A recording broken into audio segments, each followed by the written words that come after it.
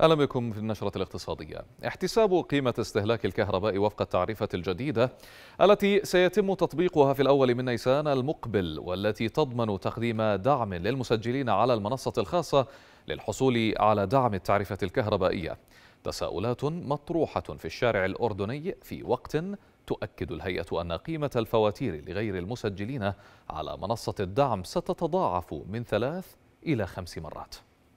مع اقتراب العمل بالتعرفة الكهربائية الجديدة في الأول من نيسان تكثر التساؤلات عن آلية احتساب قيمة استهلاك الكهرباء للمنازل وفق التعرفة الجديدة التي تضاف لها الرسوم الثابتة والمتغيرة وصولا إلى قيمة فاتورة الكهرباء الشهرية. فإذا كنت من المستحقين للدعم وكان حجم الاستهلاك ضمن الشريحة من واحد إلى 300 كيلو وات ساعة فإن التكلفة 50 فلسا وتحصل على دعم إضافي بواقع دينارين ونصف الدينار. إذا كان الاستهلاك بين 51 إلى 200 كيلو وات ساعة. وإذا كان الاستهلاك بين 201 كيلو وات ساعة ولغاية 600 كيلو وات تكون التكلفة 100 فلس لكل كيلو وات ساعة مع دعم إضافي بواقع دينارين. ومن زاد استهلاكه عن 600 كيلو وات ساعة تكون التكلفة في هذه الشريحة 200 فلس ويتم احتسابها بنفس الطريقة ولا تحصل على دعم إضافي على قيمة التعرفة ولكن تستفيد من التدرج في احتساب التعرفة. أما إذا كنت من المستحقين للدعم ولم تسجل على المنصة الخاصة في دعم التعرفة الكهربائية فستخضع للتعرفة غير المدعومة والتي ستضاعف قيمة الاستهلاك فالشريحة الأولى من واحد إلى ألف كيلو وات ساعة تكلفتها 120 فلسا وإذا زاد الاستهلاك عن ألف كيلو وات ساعة فتكون تكلفة الشريحة 150 فلسا. وفي السياق ذاته أكدت المسؤولة الإعلامية باسم هيئة تنظيم الطاقة والمعادن تحرير القاق أن منصة التسجيل للدعم ستبقى مفتوحة بعد تاريخ الأول من نيسان فيما يتم العمل حاليا لفتح المجال للطلبة والعاملين في المحافظات خارج أمكنة سكنهم الأصلية والمستفيدين من أنظمة الطاقة الشمسية للتسجيل للاستفادة من الدعم.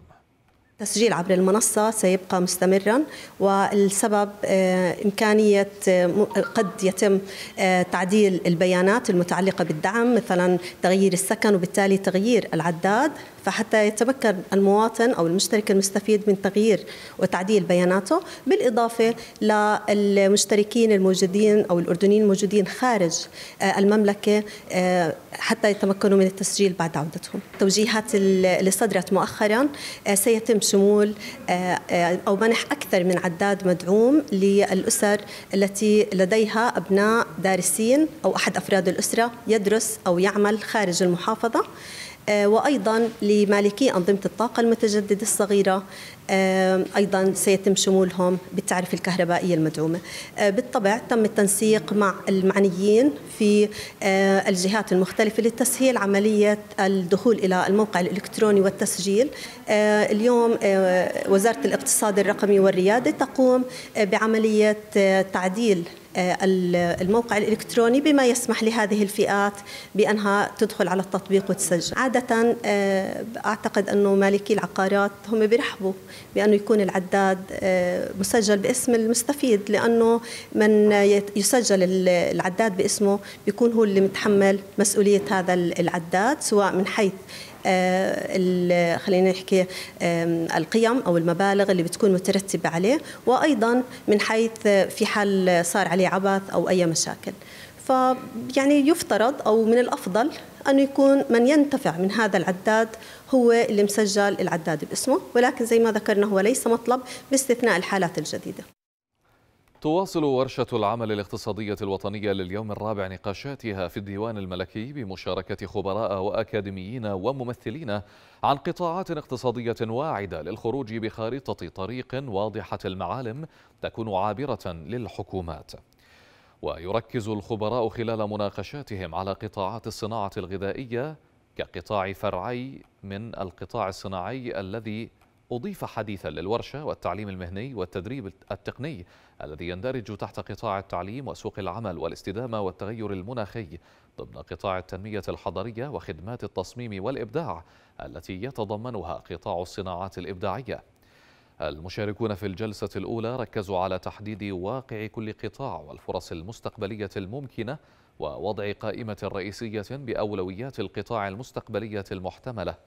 وفي الجلسة الثانية جرى تقييم اتجاهات القطاع الرئيسية في المستقبل وتحديد رؤية كل قطاع على حدة إلى جانب وضع أولويات النمو الاستراتيجية للقطاع. أما الجلسة الثالثة فحدد المشاركون فيها التغيرات والإجراءات الواجب اتخاذها في سبيل تحقيق أولويات النمو في المرحلة المقبلة. هذه هذه الورشة آه، لها عدة أهميات. آه، أهم شيء بهذا الورشة إنه قدرنا نجمع القطاع الخاص والقطاع العام والاكاديميا مع بعضها البعض لوضع خطة حقيقية قابلة للتحقيق آه، يرعاها بيت الأردنيين والديوان الملكي ولها ضمانة بالاستمرارية. لأنه أحد معيقات وأهم معيقات النمو الاقتصادي الأردني هو كثرة الخطط وعدم التطبيق. ما تم خلال هذه الأربع جلسات حتى اليوم هو رصد للواقع والتحديات التي تعاني منها القطاعات الاقتصادية رسم لخارطة الطريق المستقبلية وبدأنا بالفعل نضع الممكنات وكيف نصل إلى تطبيق هذه الرؤية على مدار العشر سنوات القادمة.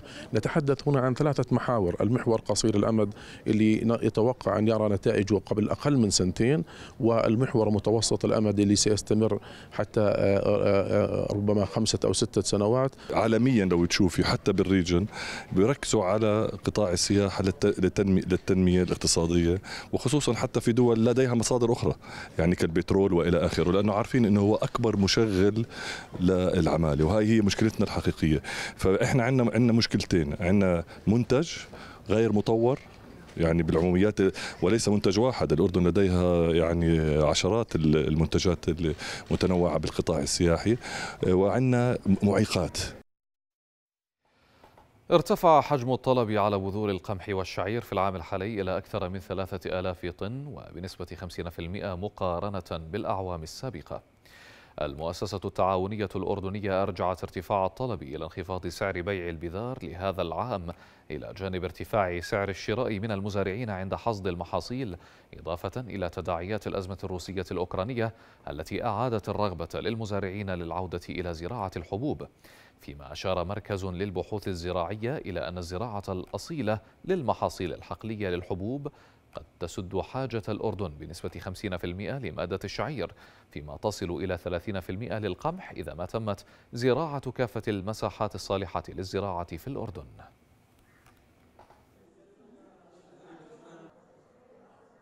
أسعار الاسعار الأسعار اللي بنشتريها إحنا من المزارعين آه، لمحصول القمح والشعير القمح 500 دينار للطن. والشعير 450 والسنة هاي بعنا ورجعنا بعنا لهم القمح ب 450 والشعير 370 بدعم تقريبا 50 دينار هذا فقط بالسعر. غير التكلفة اللي تتحملها أيضا الحكومة من خلال المؤسسة التعاونية بموضوع تكاليف الغربلة والتعقيم. هسه إذا بدنا نحكي المساحة الحالية صار نسبة الاكتفاء الذاتي من القمح تقريبا لا تتجاوز 3% وبالنسبة للشعير لا تتجاوز 7% من احتياجاتنا السنوية.